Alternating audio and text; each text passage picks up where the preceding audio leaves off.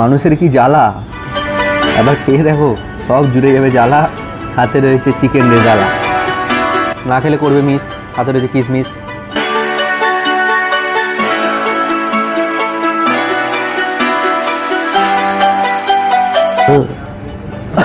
হাঁচি বৃষ্টিতে ভিজে আমার হচ্ছে এবার হাঁচছি হাতে চলে এসছে প্লেটে ভরা খাচ্ছি। বাইরে পড়ছে টিপ টিপ বর্ষা পানি। আবার আজকে খেতে চলে এসেছি বিরিয়ানি। আজকে খেতে চলে এসেছি ইন্ডিয়া রেস্টুরেন্টে বিরিয়ানি, নতুন ধরনের বিরিয়ানি খাব। আর দেখাবো বিরিয়ানি খাওয়া কাকে বলে। মন ভরা ভালোবাসার পেট ভরা খিদে নিয়ে আবার একবার হবে খাদ্যের সার্জারি। বিরিয়ানি হোক বা নিরামিষ তরকারি। যথারীতি নিরামিষ তরকারি আবার নয়, আবার এসছে বিরিয়ানি। তো দেখা যাক, ভেতরে গিয়ে আমরা কি কি খাবার খাই। সঙ্গে থাকো, পাশে থাকো, পুরো ভিডিওটা দেখতে থাকবে। লাইক শেয়ার অ্যান্ড সাবস্ক্রাইব তিনটে না হলে কিন্তু আমরাও জোশ পাচ্ছি না। তিশাঙ্কু যেরকম ক্যামেরা পেছন থেকে আমাকে বলে, জোশ আনো জোশ জোশ, সেরকম জোশ পাচ্ছি না।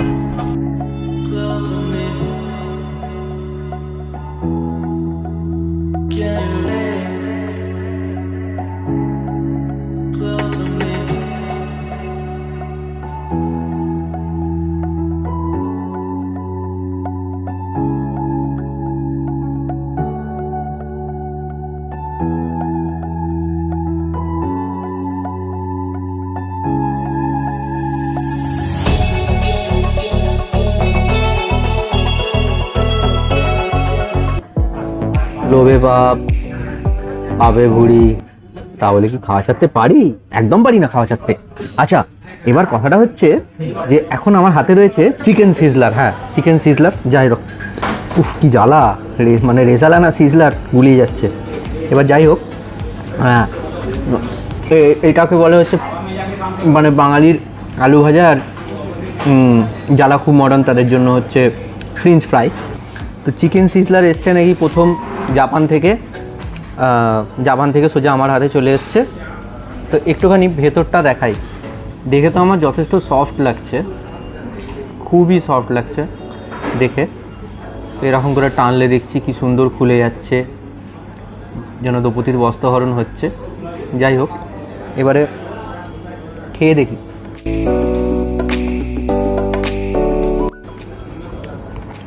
আমি এর আগে চিকেন সিজলার খেয়েছি বস কিন্তু এটা মারাত্মক খেতে। যেটা দেয়া আছে এরকম চাউমিন।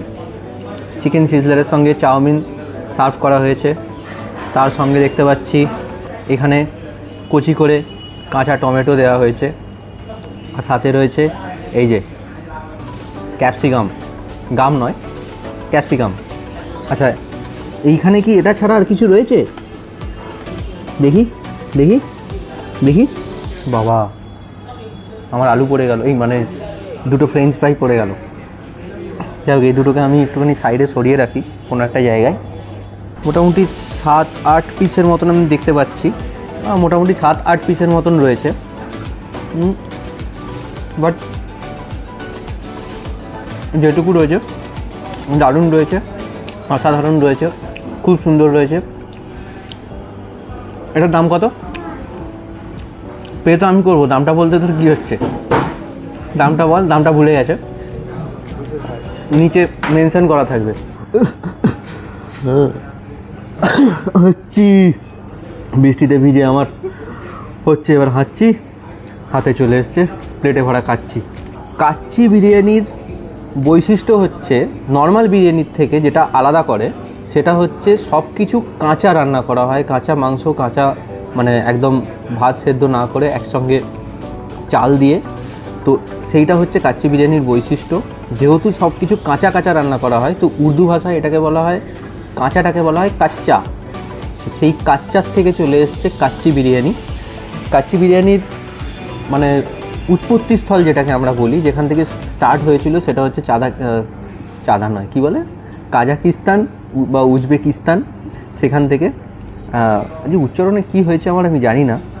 বাট উচ্চারণে যাই হোক, মুখ একদম ঠিকঠাক চলছে। আমরা সাইজের প্লেটে আমরা সাইজের আলু কিন্তু দেয়নি, দামড়া সাইজের প্লেটে দামড়া সাইজেরই আলু দিয়েছে।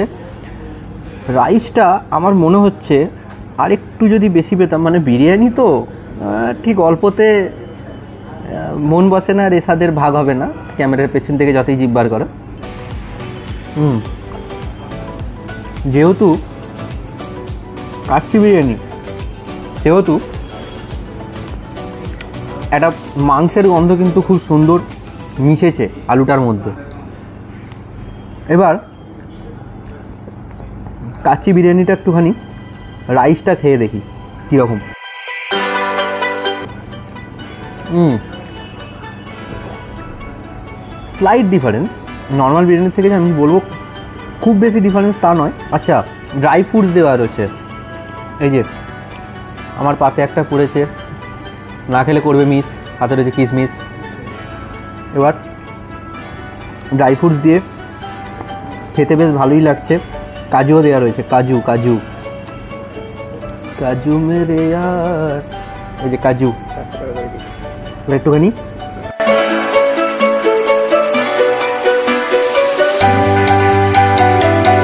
বিরিয়ানিটা কিন্তু ভাই অসম্ভব ভালো খেতে।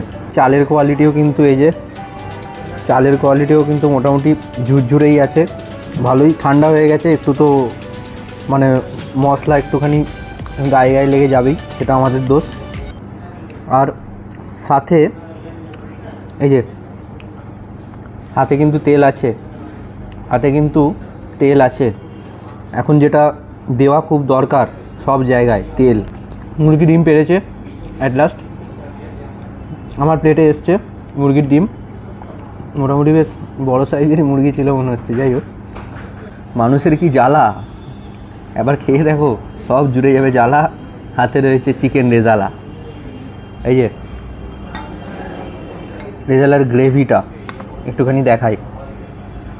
অসাধারণ। একটু শুধু খেয়ে দেখি। আমার মতন আতপাখলগুলো এই চিকেনের গ্রেভি বলে শুধু খায়। একটু মিষ্টি মিষ্টি আছে। এবার রেজালাটা দিয়ে বিরিয়ানিটা একটু মাখিয়ে খাই। পেছন থেকে কিন্তু তিসানপুরের খুব খুব খুব কষ্ট হচ্ছে আমার খাওয়া দেখে। আগামী দু তিন দিন হয়তো আমি বাড়ির থেকে নাও বেরোতে পারি। কারণ কোনো একটি সরকারি নার্সিংহোমে গিয়ে পেছনের ব্যথা নিয়ে ভর্তি হতে পারি। দুশো গ্রাম দুশো গ্রাম ঠিক হবে না। আশা করছি এটা দেড়শো। মাটনটা আমার একটুখানি টাইট লাগল হয়তো ঠান্ডা হয়ে যাওয়ার জন্য হতে পারে। হুম। হালকা ছিবড়ে রাখছে মাটনটা, হালকা। এবার সেটা ঠান্ডা হওয়ার জন্য হতে পারে। খাসি নামছে না গলা দিয়ে। যাই হোক, এবার এই যে চিকেন দিয়ে, আলু দিয়ে মাটন দিয়ে সব কিছু দিয়ে একটুখানি ভালো করে মাখিয়ে নিয়ে।